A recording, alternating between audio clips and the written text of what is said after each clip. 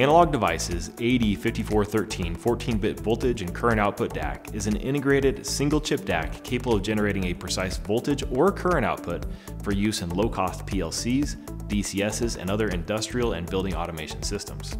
The AD5413 offers a 14-bit unipolar current or bipolar voltage output on a single terminal, which is configurable via register settings. It has an on-chip 2.5 volt reference that enables a plus or minus 0.3% full-scale range total unadjusted error, with the option to use an external 2.5 volt reference if desired. The IC has enhanced on-chip diagnostics and reporting for the analog and digital blocks. It also offers user programmable offset, gain, and digital slew rate control while targeting cost-sensitive applications. The DAC has a four-wire serial interface that's compatible with multiple protocols, including SPI with optional CRC, and is packaged in a 5x5mm 32 lead LFCSP.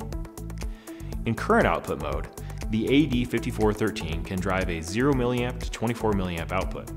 This output current is internally mirrored so that it appears as a current source output to the application.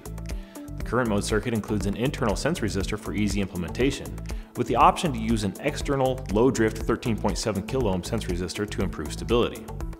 Optional HART connectivity provides added versatility, with the ability to AC couple a HART modem output into the C-HART pin to generate a HART signal on the current output.